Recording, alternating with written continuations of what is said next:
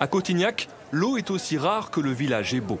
La commune est alimentée par une simple nappe phréatique dont les réserves sont limitées. Alors ce geste, ici, on a l'habitude de le faire avec parcimonie. Le manque d'eau, c'est pas d'aujourd'hui. Hein.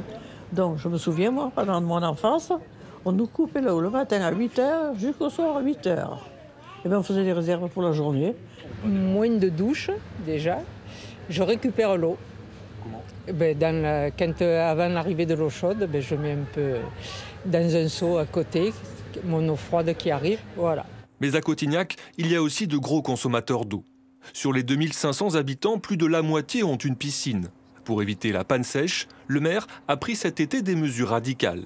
Au-delà de 250 mètres cubes d'eau utilisés, le tarif passe de 50 centimes à 1 euro le mètre cube. Ceux qui laissent couler de l'eau, et on a eu l'expérience l'année dernière, des gens qui laissaient couler le robinet pendant 24 heures, la piscine, on remplit, on ne fait pas attention, on, on fait n'importe quoi, et bien ceux-là seront taxés. Une mesure qui fait déjà effet. Par rapport à 2022, la consommation d'eau dans le village a baissé de moitié. L'eau de Cotignac est puisée grâce à un forage qui plonge dans la nappe phréatique. Pour trouver plus d'eau, dès septembre, la commune va forer plus profondément, ce qui rend sceptique certains habitants.